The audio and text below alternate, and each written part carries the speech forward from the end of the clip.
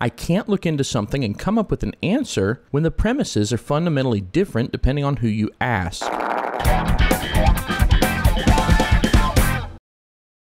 I got in an argument in the YouTube comments again. I know. Shocking. Some people wanted to argue whether the Democrat and Republican parties switched. Now, if you're really bored and don't have anything better to do with your life, you can go look up this PragerU video, and then you can go look up all the videos talking about the PragerU video. There's one by Knowing Better that's his usual waffle. There's a few conservative ones, Mark Levin talking about no switch. The information's all over the place, so this video is not to discuss whether the parties did or did not switch. This video is to discuss why I have decided I don't give a crap.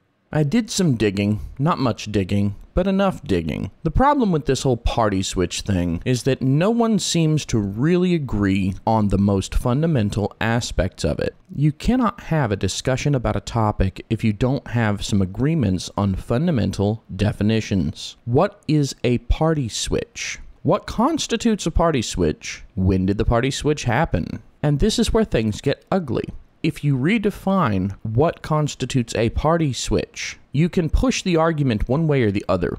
So, what I found when I started attempting to do my own independent research on this party switch thing is that no one actually agrees on fundamentals. I can't possibly do a video on that. I can't look into something and come up with an answer when the premises are fundamentally different depending on who you ask. What's a party switch? When did it happen? Who's responsible? Is it that the senators and the House of Representatives changed representation? What's going on there? References to the Southern strategy, people debunking the Southern strategy. I mean, on its face, the whole Southern strategy thing doesn't make sense because why would you pander to racists in the South if you would lose the more populous North, which you would also need to win things? But I digress. I'm not going to figure all this out. There's too much inconsistency. There are too many disagreements on fundamental premises. So, did the party switch? Don't care. Not worth trying to figure out. If we want to look at things the way they are right now, that might matter a little bit more. But you know what? I really don't care if a bunch of people who are either old or dead were or were not racists. What I care about is who's an asshole today. Who's an asshole today? Well, look at your window. Look at who broke it.